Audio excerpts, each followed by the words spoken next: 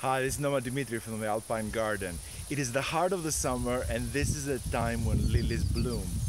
Um, it's a wonderful, it's a beautiful, beautiful bulb. It gives wonderful flowers. They come year after year and they, when they're, when you treat them right, they look absolutely gorgeous. Uh, look at this one. I've had this for a couple of years now and she really makes an incredible nice bouquet of bright red lilies. Um, like all flowers, at some point, these flowers too of the lily are going to wither and die and leave behind something that's not so attractive. Um, this is the time when you start thinking of deadheading them. Um, so with this video, I'm gonna show you how to deadhead them.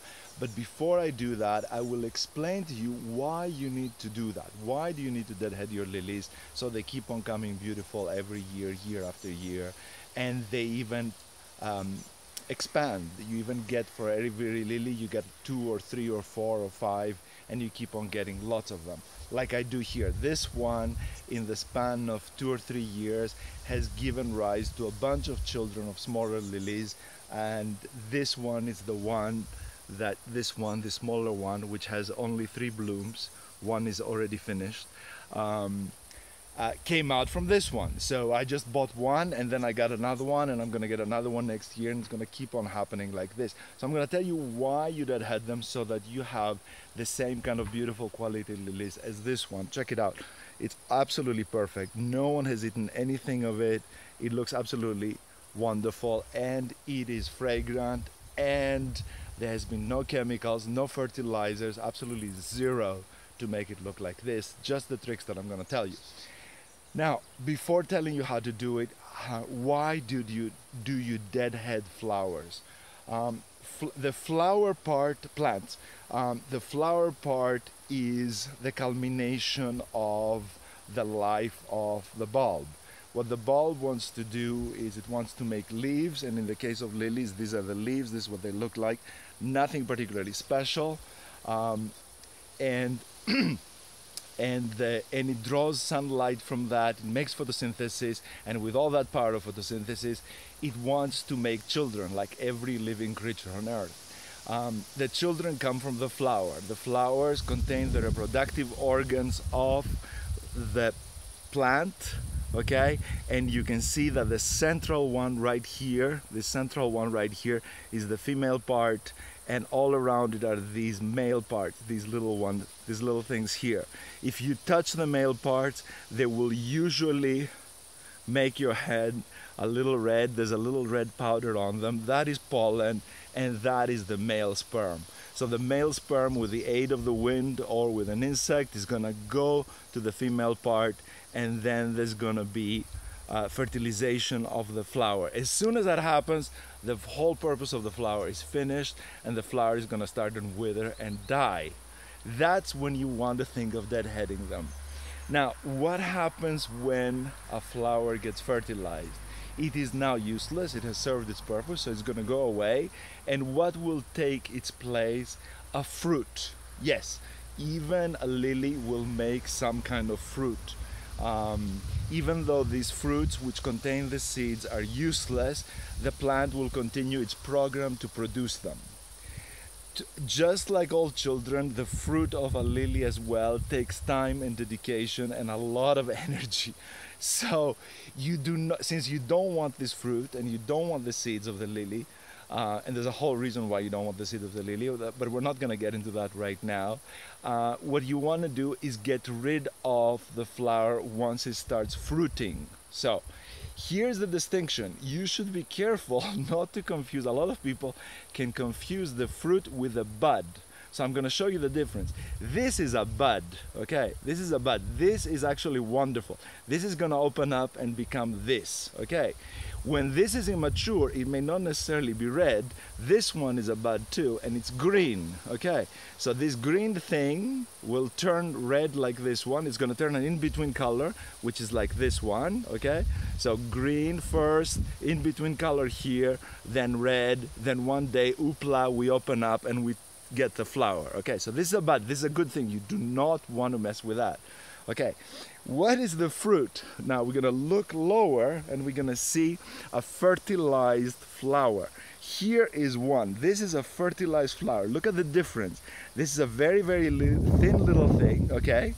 And then at the tip is the female part, okay, which is kind of swollen after being fertilized, okay? It's gonna fall off. And this particular thing is the fruit and this is gonna become bigger and bigger and it's gonna turn it's gonna have seeds and it's the thing you do not want. This is the thing that you do not want not this okay?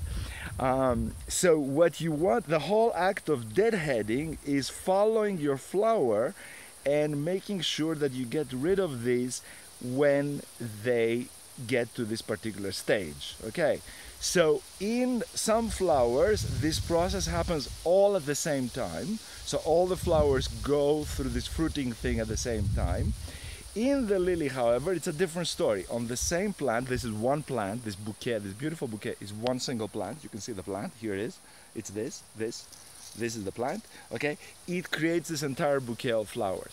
These flowers are not at the same stage at the same time. As you can see, they're bouquets, they're very immature green bouquets, they're full, uh, sorry, buds, flower buds. This is an immature flower bud. This is a more mature flower bud. This is even more, and these are the open flowers. And this has already finished flowering. The petals have dropped, so the petals are these, okay? They have dropped off. The male parts have dropped off, and they just leave this female part here that you see. It's just this now, and this thing that looks like a weird stem, that is the fruit, okay?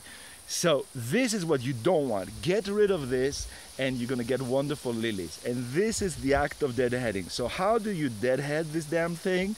You just take it and snap it off. Okay, pop, it's snapped off. Okay, this is the whole story of deadheading your lilies. You take these things off and you throw them out because they're completely useless and they will take away the energy of your plant.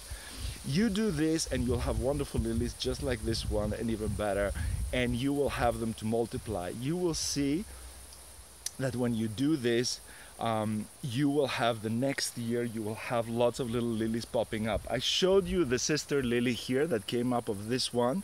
So this is the big one here and this is the smaller one here. But I have a whole bunch that are much smaller down all the way to the level of the ground. This one, for example, okay, that next year and this one, okay? These are all lilies. And they all came from this one not through seeds but through the root system. And next year I will have two or three that will look as nice as this one okay? Um, the one last thing I want to tell you because a lot of people mess this up okay?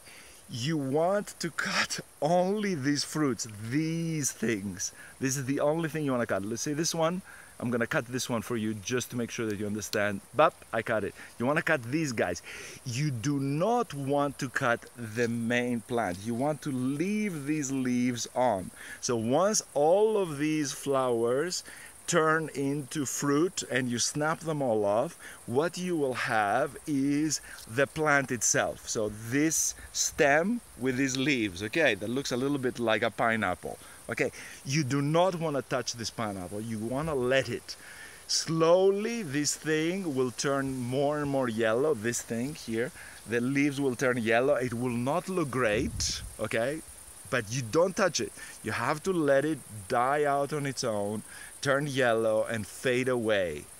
And only when it's completely yellow and looking rotten and dead do you snip it off. Okay, you need to do this step because if you don't do this step, the plant will not get enough photosynthesis to send back down to the bulb, to the lily bulb, and you will eventually kill your plant. Okay. So I think you know the whole story.